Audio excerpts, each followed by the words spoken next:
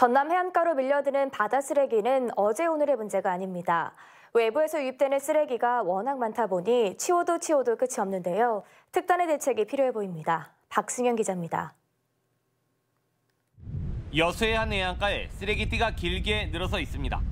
어민들이 버린 폐여고에서부터 육지에서 흘러나온 각종 생활 쓰레기까지 종류도 다양합니다. 또 다른 해안가도 사정은 마찬가지입니다. 수거를 해도 그때뿐입니다.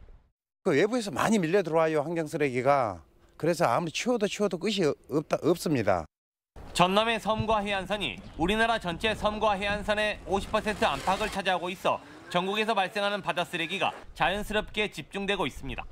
이렇게 전남 앞바다로 밀려드는 쓰레기는 연간 4만 톤에 이릅니다.